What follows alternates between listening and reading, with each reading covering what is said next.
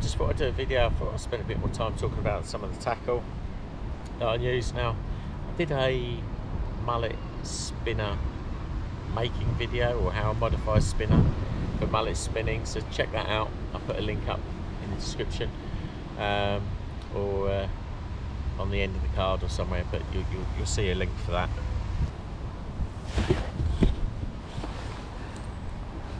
so what I've got here is a size 2 spinner. Now the size doesn't really matter. A lot of people go small but one of the guys today is catching them on a, on a massive spinner. So this is size 2 it's usually what I go for. Um, we've got an extra barrel a little bit more weight on this one. It means I can cast it a bit further. And the stiff boom just gives it a bit of an anti-tangle property. And you've got like a tail rubber there and then we got fluorocarbon. So fluorocarbon I steam straight. That's 12 pound fluorocarbon little size 12 hook and a size 4 Aberdeen. Now when we're rigging this um, I think I've got a worm left. I like to get the head end of a ragworm and thread it up with no twists at all show you that from another angle. So what I like to do is, is thread the rag up the hook get that head over the eye but I try not to twist the rag. Um, it's a little bit harder while I'm trying to hold the camera and see what I'm doing but uh, you're getting the gist of it. Try not to twist or turn the rag but just feed it around so get that nice and straight. Now that's one of the key things to this.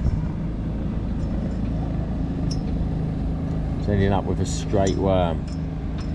So we tease it out straight. Like that.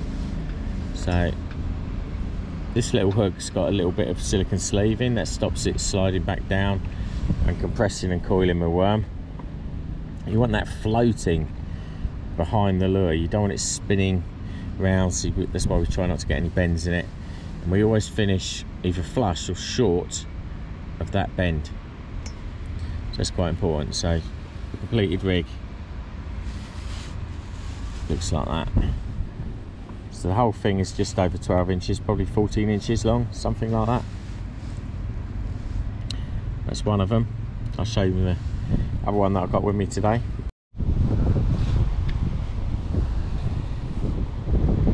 so here's the rig. Hopefully that's coming out but um, that ragworm obviously is a bit dried out where it's been in the sun but uh, the second one different coloured spinner it's a silver spinner and I've got a slight modification to this one that I hook and unhook the rig with a tail rubber just carp lead tail rubber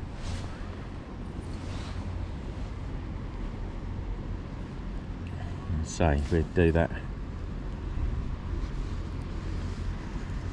Worm change it over.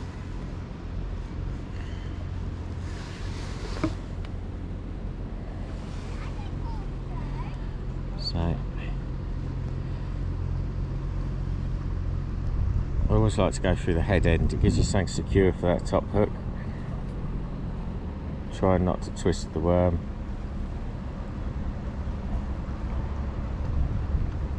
finish. Something like that. When I started, I used to find that I wanted to put a short piece of worm on. The short worms seem to be uh, more prone to spinning, so I've actually gone longer these days, and uh, usually it's about three, four, sometimes five inches of worm. That's it.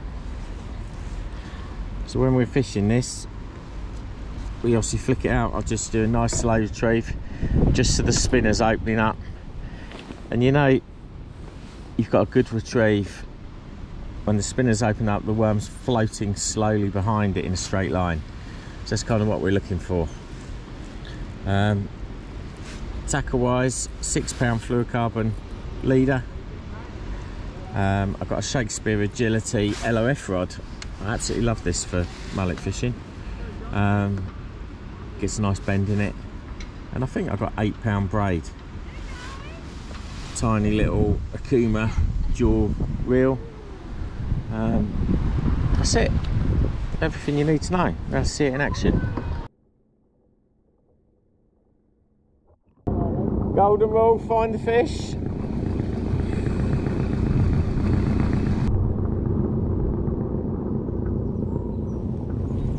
That's not a bad fish.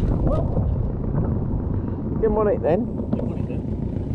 Thought you throw it away. You did throw it away.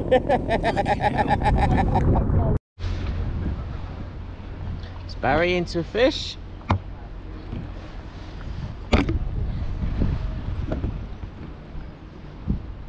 Get ourselves one.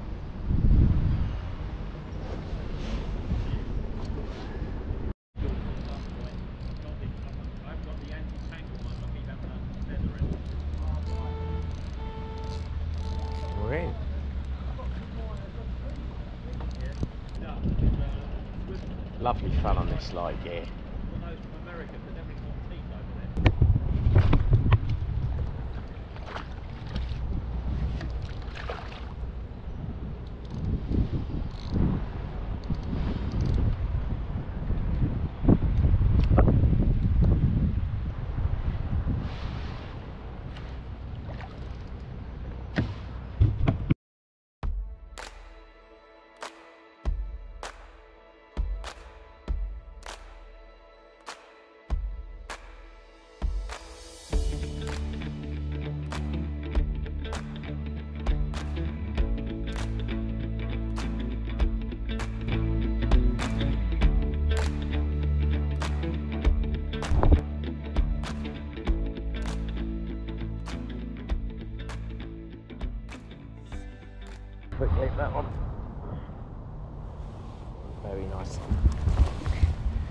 Very nice. Let me show it to you. Okay. That beaut. Beauty.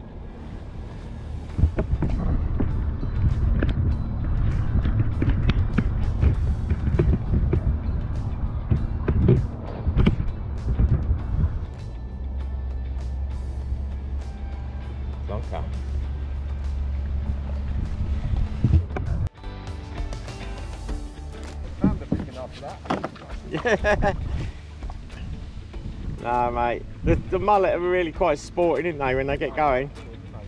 You get a big one, a four pounder or something, and it's it's a nightmare.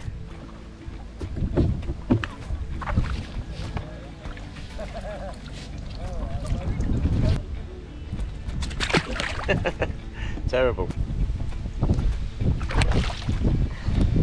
It's, it's mullet madness. Look at it. It's all going off.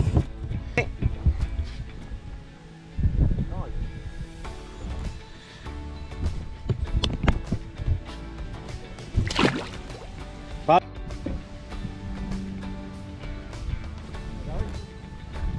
lovely.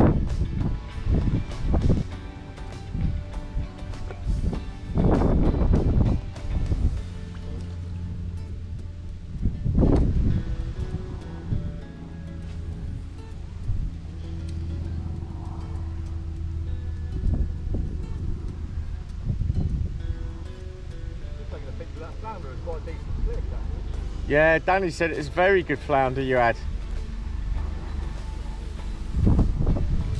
Straight away, look. There's loads out there. Time of the day and it's same part of the tide.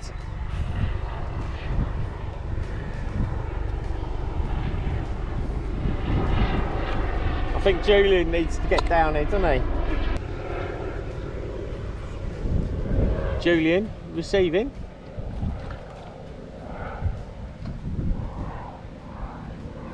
He's too far away. He's up by that bridge, missing out on it all.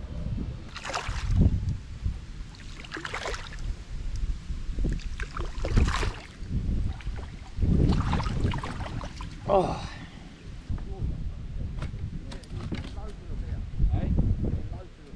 Yeah. Getting hit every cast.